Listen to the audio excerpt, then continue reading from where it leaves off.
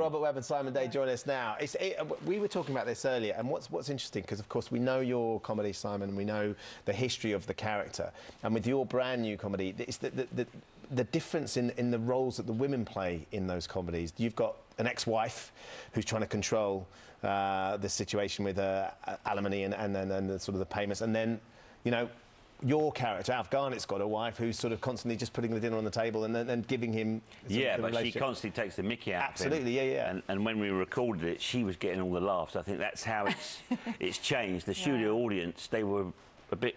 You know, should we be laughing at him, shouting? It's the guilty. But laugh. they really laughed at her stuff. And if you watch the original show, she continually digs him out without ever really confronting him and turning it into an argument. That's the genius of the writing, I think. Were you nervous about yeah. doing it because of because of the the history and, and, and the sort of how we remember the original? Well, I mean, the, the script they, have got is an original script that was wiped, which is why they did it, and it's not remotely racist. It's just him being pathetic and shouting.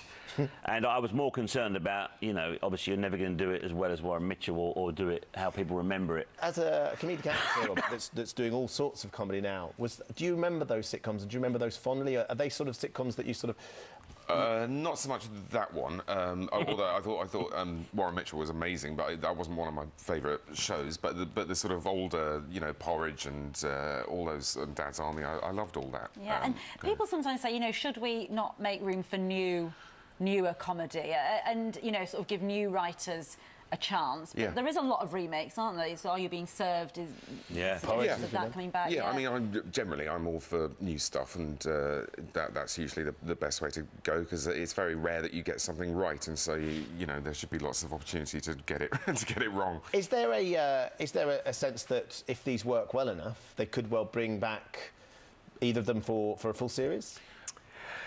I don't think they'll bring back Alf Garnett. I think times have changed so much. I mean, and I did it. It's like a Beckett play. It's filmed on the original set. It's it's so of its time. Obviously, they come and say, "Do you want to do 12 episodes?" I should have to consider it. You're my wife. Take it, yeah. exactly. But um, I doubt it. You know, I think who knows. But my ex-wife is a pilot, and we do have our fingers crossed. that it will work. yes. And, and, it seems like it's got all, all well, the right. Is it written by somebody who was behind The Simpsons? I've yes, read that. Uh, Julie Thacker Scully was a senior writer on The Simpsons for a long time. Um, wow. So we had to translate some of the swearing uh, for her.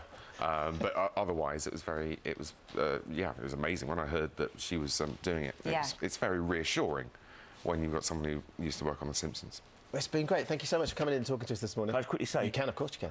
Uh, I'm in a play. It depends what you're going to say. yes, I'm in a play. Uh, it starts tonight. It's called uh, Waiting for Waiting for Godot.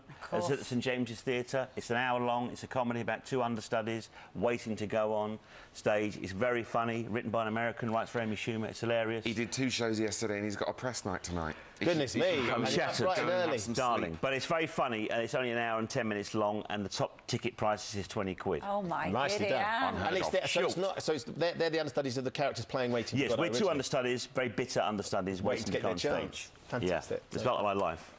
Brilliant. and there's this bit at the end where I just say, ask me any question you like, and people start telling me about their parents mm. and their family secrets. And, then part of the show is about dementia as well, because my dad has dementia, so they start telling me about that. And it's sort of wonderful in a way. It's a bit group therapy. It's a little bit American at some mm. level, but it's actually really, really nice and still funny, I think. Mm. Talking about funny, so you've got your